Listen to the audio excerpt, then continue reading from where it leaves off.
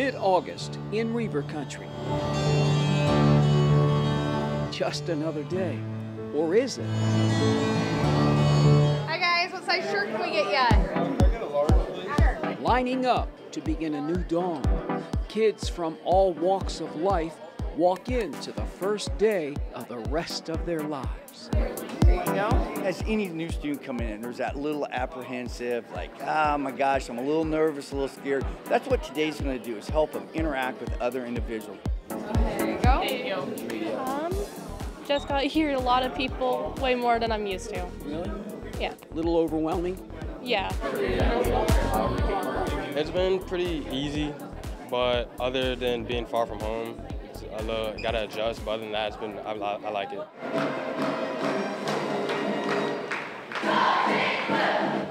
We have the services for you to help you be successful in as you go through your academic career. Director of Campus Safety and Security, Mr. Dan Flores. Or your vehicle, whatever the case might be, you need an escort, please call us. Great, you're interested in our school?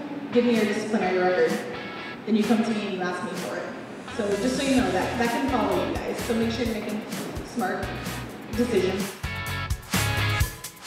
Now, when it comes to reporting things like sexual violence, if you want to report anonymously, you don't want your name attached to it, that's the office that you need to go to. You guys have all read the handbook, right? I'm expecting to know my way around campus after today and know if the food's good. Now, all of these are available on the main website. I like it. I've been here for college classes and high school classes at the same time.